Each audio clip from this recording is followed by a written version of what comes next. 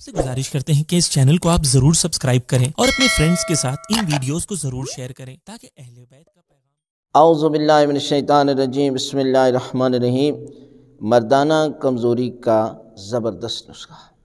यानी ये है कि जो बात मर्दाना कमज़ोरी के मतलब बताई जाती है ना, लोग उसकी तरफ़ बहुत ज़्यादा दिलचस्पी रखते हैं। और आज देख लें कि जो हकीम या डॉक्टर ऐसी बात करेगा ना लोग जो है वो उसको ज़्यादा पसंद करेंगे। हालाँकि ये परवदिगार है, हर इंसान के अंदर परवदिगार ने ये सलाहियत रखी है, हर मर्द के अंदर।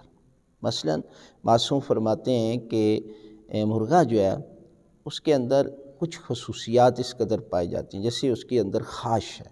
ये सबसे ज़्यादा नफसानी ख़ाश जो है वो मुर्गे के अंदर पाई जाती है। और देख लें कि ये परवदिगार ने रखी है, इसलिए वो जो है, उसके अंदर ये ख्वाहिश इसी तरह मर्द के अंदर जब परवदिगार ने चार बीवियों की ताकत रखी है तो परवदिगार ने रखी है, इसलिए कि उसके अंदर ये सलाहियत है।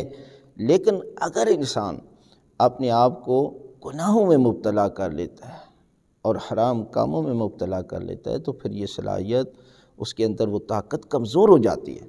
इसलिए जो शख्स उसे ये दवाइयों वगैरह के चक्कर में नहीं जाना चाहिए, बल्कि उसे जो है वो याद खुदा और जो परवदिगार ने रोटी में ताकत रखी है, अनाज में ताकत रखी हुई है, ये किसी और चीज़ में नहीं है।